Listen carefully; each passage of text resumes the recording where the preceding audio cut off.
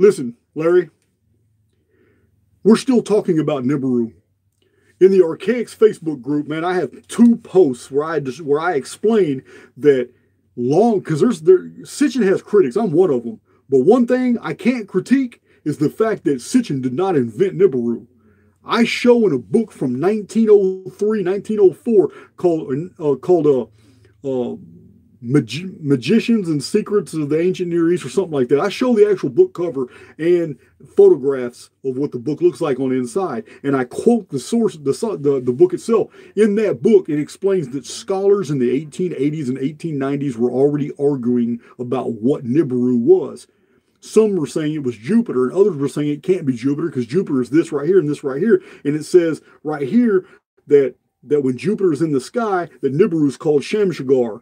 So uh, they were already trying, but there, but there's prophecies about Nibiru, and some of them are harrowing. Others are really weird, as if Nibiru is going to bring a golden age. So uh, I call it Nemesis X object because everything that I have found is that Earth Nibiru, the moon, uh, there's another Phoenix, and the dark satellite. These five objects, which includes also our world, are not native to Sol because we violate this principal tenet of the Titius-Bode law. The, the mathematical distribution of the planets is disrupted by Earth being here.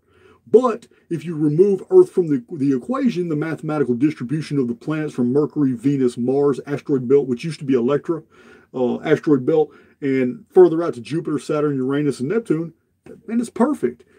Uh, Nemesis had Luna, which is the moon. It had Nemesis X object, Nibiru. It had Earth and Phoenix orbiting around it. So, and Tiamat. So, anyway, uh, yeah, I call it Nemesis X because that's what it is. It's an unknown world that used to orbit the dark star, which is called Nemesis.